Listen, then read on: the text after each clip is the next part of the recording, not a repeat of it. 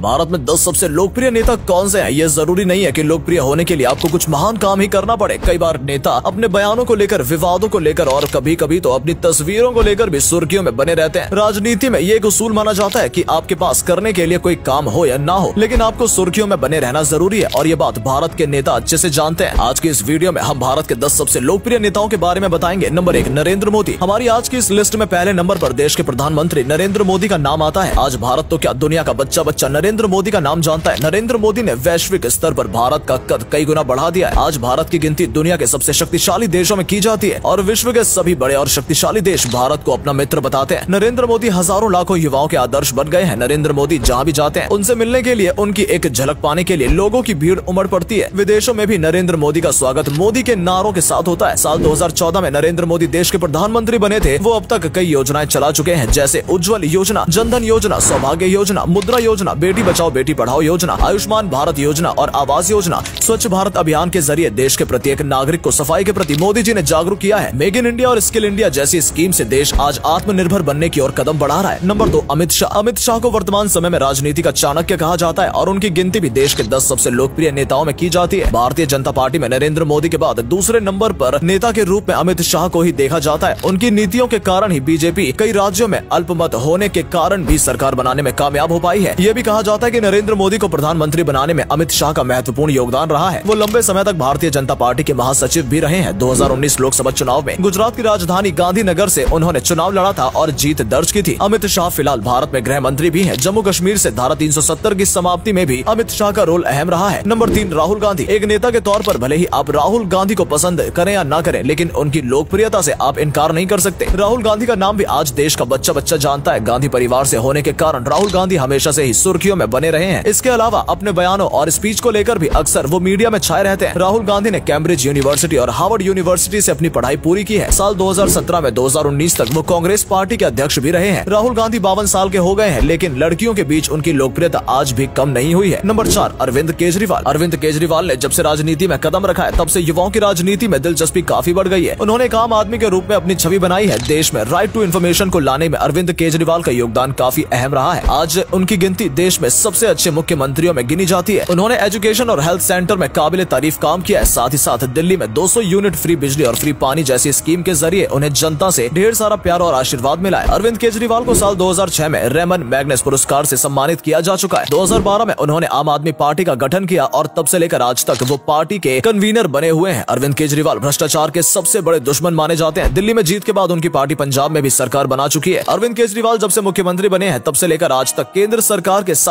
उनका वाद विवाद भी चलता आ रहा है। कुछ लोगों का तो ये भी कहना है कि आने वाले समय में अरविंद केजरीवाल, नरेंद्र मोदी के सबसे बड़े प्रतिस्पर्धी साबित हो सकते हैं। नंबर पाँच, योगी आदित्यनाथ। योगी आदित्यनाथ ने बहुत कम समय में ही अपनी अलग पहचान बना ली है। उत्तर प्रदेश के मुख्यमंत्री योगी आदित्यनाथ की लोकप्रियता लगातार बढ़ रही है और न सिर्फ़ यूपी में, बल्कि पूरे देश में उन्हें सबसे बड़े हिंदू लीडर के रूप में देखा जा रहा है। उन्नीस मार्च दो से लेकर आज वो उत्तर प्रदेश के मुख्यमंत्री बने हुए हैं। इससे पहले सन उन्नीस से लेकर दो हज़ार सत्रह तक वो गोरखपुर में सांसद भी रहे हैं। योगी आदित्यनाथ ने उत्तर प्रदेश में गुंडागर्दी और माफियाओं पर जमकर नकेल कसी है। उन्हें बुलडोजर बाबा के नाम से भी जाना जाता है, क्योंकि अब तक कई अवैध अतिक्रमण, पर वो बुलडोजर चलवा चुके हैं। योगी आदित्यनाथ की सबसे खास बात यह है कि वो मुख्यमंत्री बनने के बावजूद भी एक सन्यासी की तरह अपना जीवन व्यतीत करते हैं। वो रोज़ाना सुबह जल्दी उठ जाते हैं और पूजा पाठ करते हैं। केवल 22 साल की उम्र में ही अपनी योगी आदित्यनाथ ने सन्यासी बनने का फैसला कर लिया था। नंबर छह, ममता बनर्जी। ममता बनर्जी, जिन्हें आज पूरा देश दीदी के नाम से जानता है, इनका नाम इस लिस्ट में देखकर आपको थोड़ी हैरानी ज़रूर हुई होगी। लेकिन लोग आज भी उनकी सादगी को पसंद करते हैं। ममता बनर्जी साल 2011 में पश्चिम बंगाल की मुख्यमंत्री बनी थी और तब से लेकर आज तक उन्हें जनता का भरपूर सहयोग मिल रहा है। आपको जानकर आश्चर्य होगा कि ममता बनर्जी की कुल संपत्ति आज भी केवल 16 लाख है।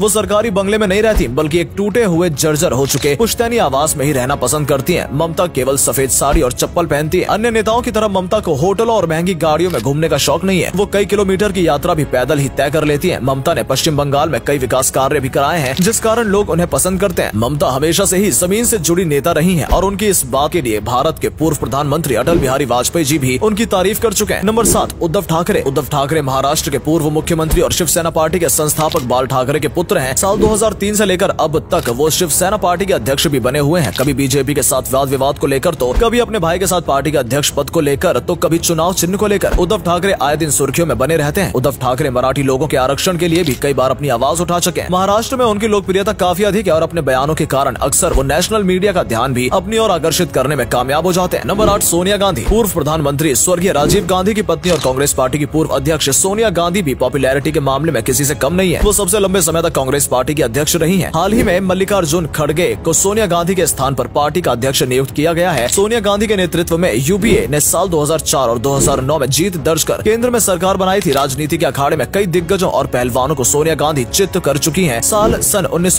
ऐसी लेकर अब तक वो लगातार रायबरेली सीट ऐसी लोकसभा चुनाव में जीत दर्ज करती आई है। नंबर नौ नीतीश कुमार। बिहार के मुख्यमंत्री नीतीश कुमार अब तक आठ बार मुख्यमंत्री पद की शपथ ले चुके हैं और मुख्यमंत्री के तौर पर सबसे अधिक शपथ लेने का रिकॉर्ड भी बना चुके हैं। नीतीश कुमार पहली बार साल 2000 में सात दिन के लिए बिहार के मुख्यमंत्री बने थे। इसके अलावा वो केंद्र सरकार में रेल मंत्री और कृषि मंत्री भी रह चुके हैं। बिहार में नीतीश कुमार की लोकप्रियता हमेशा से ही सातवें आसमान पर रही है। कहा जाता है की बिहार को नीतीश कुमार ऐसी बेहतर कोई नहीं समझ सकता। उन्होंने जमीनी स्तर आरोप बिहार के अनेकों विकास कार्य कराए हैं। नीतीश कुमार जनता दल पार्टी के प्रमुख नेताओं में से एक है और कई बार वो अलग अलग पार्टियों के साथ गठबंधन भी कर चुके हैं। नंबर दस, शशि थरूर अपनी वो कैब्यूलरी को लेकर सुर्खियों में बने रहते हैं। वो एक प्रसिद्ध राजनेता होने के साथ साथ एक लेखक भी है। इनके अलावा महिलाओं के साथ तस्वीरों को लेकर भी उन्हें ट्रोल किया जाता है और इनसे उनकी लोकप्रियता में और अधिक इजाफा होता है। साल 2009 में अब तक वो केरल की राजधानी तिरुवनंतपुरम से लोकसभा सांसद हैं। साथ ही वो पार्लियामेंट्री स्टैंडिंग कमिटीज के विदेशी मामलों के अध्यक्ष भी हैं। हाल ही में शशि थरूर और मल्लिकार्जुन खड़गे के बीच कांग्रेस के अध्यक्ष पद को लेकर चुनाव हुआ था, जिसमें खड़गे की जीत हुई थी। तो दोस्तों, ये है भारत के दस सबसे लोकप्रिय नेता, जिनके बारे में आए दिन आप समाचार में सुनते ही रहते होंगे। बात अच्छी हो या बुरी, लेकिन किसी न किसी तरह से ये सुर्खियों में बने ही रहते हैं। साथ ही सोशल मीडिया पर इन सभी नेताओं की लोकप्रियता काफ़ी अधिक है। कई मीम्स भी इन सभी लीडर्स के ऊपर आपको बने मिल जाएँगे। दोस्तों, आपको इनमें से कौन सा नेता सबसे ज़्यादा पसंद है? और क्यूँ? हमें कमेंट करके ज़रूर बताए। अगर वीडियो अच्छी लगी हो तो इसे लाइक और शेयर अवश्य करें। आज के लिए इतना ही। आपसे फिर मिलेंगे एक नई वीडियो और ढेर सारी रोचक जानकारी के साथ। धन्यवाद।